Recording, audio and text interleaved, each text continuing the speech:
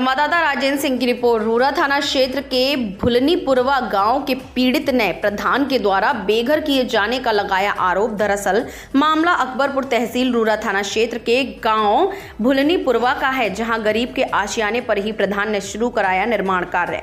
ग्राम पंचायत की पानी की टंकी के निर्माण से पीड़ित को हो रही असुविधा, पीड़ित की माने तो पिछले कई वर्षों से वह व्यक्ति रह रहा है, झोंपड़ी डालकर। प्रधान की हट धर्मिता के चलते पीड़ित को हो रही असुविधा, पीड़ित ने कई अधिकारियों की चौखट पर लगाई न्याय की गुहार। कौन सा गाँव है? श्रीकांति। अच्छा। क्या समस्या है दीदी यहाँ हमको रहने नहीं दे रहे क्यों क्या हुआ? पंद्रह साल हो गए रहते रहते। अच्छा। प्रधान। क्या कह रहे हैं? कह रहे हैं कि हम यहाँ वो टंकी बनवाएँगे पानी वाली। अच्छा तो उनसे ये नहीं कहा कि हम छोटे छोटे बच्चों को लेके सर्दी में सबसे भाई जी कह रहे हैं कोई सुनता नहीं है। और कल हम लोग ये चले गए भाई देवर उधर तो ये कल इन टंकी वाला बनवा देने खुदा देने। तो इससे पहले सूचना नहीं दी थी क्या अरे भाई जी सामान दिन कोई सुन ही नहीं रहो है।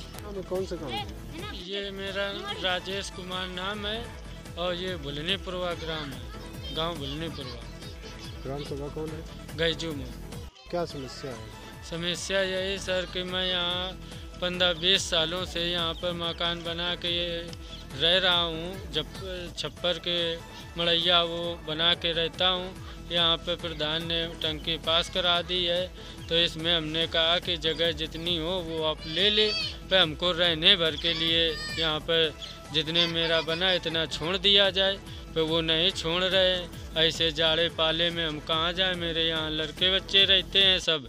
और ऐसे समस्या में हम कहाँ जाएँ? जहाँ हमको बताएँ वहाँ हम अच्छा अपना इसकी रहने शिकायत आपने कहीं की है? हाँ हमने इसकी शिकायत उनको विकास मुख्य विकास अधिकारी को दी। और उसके बाद एस डी एम को दिया, डीएम को दिया और उनको योगी जी महाराज को दिया, तहसील दिवस में दी। मैंने जहाँ जहाँ तक बहुत अप्लीकेशन दी पे आज तक कोई सुनवाई नहीं हुई उसकी। प्रतिभा शुक्ला जी को भी यहाँ टंकी के बाबत में दिया था। उन्होंने भी कहा एस डी एम को दे और विकास अधिकारी वहाँ भी दे, आए। सब कुछ किया पे कल ये आके यहाँ पर सब मेरे, हम चले गए वहाँ।